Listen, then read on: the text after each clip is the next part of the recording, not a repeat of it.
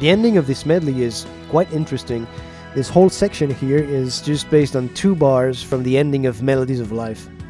That is the, um, the little oboe solo that you hear after the very last chorus.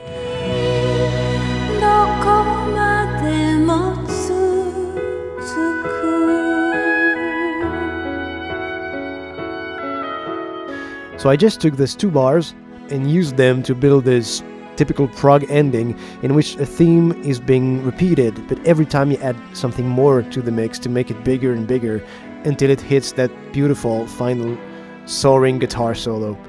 So, for example, the second time I added an acoustic guitar on the left and an electric guitar on the right.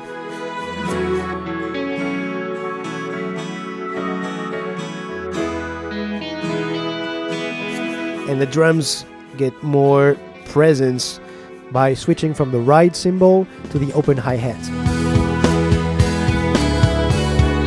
These are just little tricks to spice things up.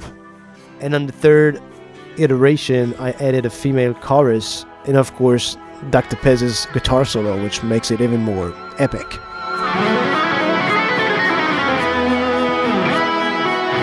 If you don't know about Dr. Pez, you should go and check his channel right now.